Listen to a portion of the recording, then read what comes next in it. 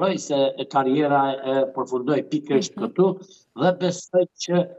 neve kemi një thënje të vjetër themi se kur ngordh gomari e ka goditjen më të shqelmin më të fortë. Dhe në këtë rast besoj që neve duhet të kemi një lloj organizimi përkrah këtij për këto zhvillime që mund të ndodhin kur gomari ka ngordhur. Dhe në rastin konkret unë besoj që tani ky gomar është në ngordhje e sipër dhe se shqelmin mund ta ketë më të fortë duke tentuar që të mbrojë të gjitha ato veprime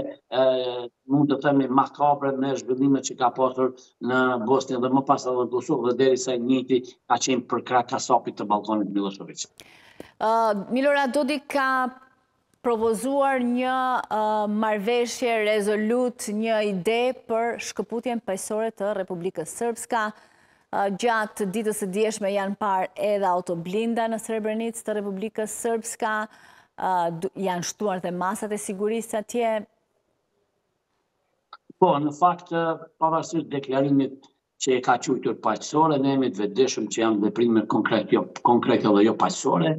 dhe se ai ka marrë të gjitha masat për të organizuar një referendum për shkëputjen e Republikës Srpska nga Bosnia dhe krejt kjo bëhet sidomos pas vendimit që tanimë kemi për rezolutën nga Këshilli i Sigurimit. Dhe në këtë rast unë besoj që do të fillojnë veprimet konkrete rezolutë dhe në momentin kur do të ketë përpjekje për të penguar miratimin e kësaj rezolute dhe kur ketë përpjekje për moslejimin e ndarjes së Republikës Srpska, do të kemi edhe ballafaqim me zjarr dhe në këtë rast edhe fillon shqetësimi për të cilin e kemi paralajmëruar një kohë të gjatë për destabilizimin e sigurisë në Ballkan dhe krejt kjo do t'i përgjigjej vetëm vetëm Rusisë, e cila tani ka vendosë që të përdorë aleatët e saj në Ballkan për destabilizimin e situatës së sigurisë dhe defokusimin e forcave ndërkombëtare të sigurisë nga zhvillimet që ndodhin në Ukrainë për zhvillimet që do të vijnë në Ballkan.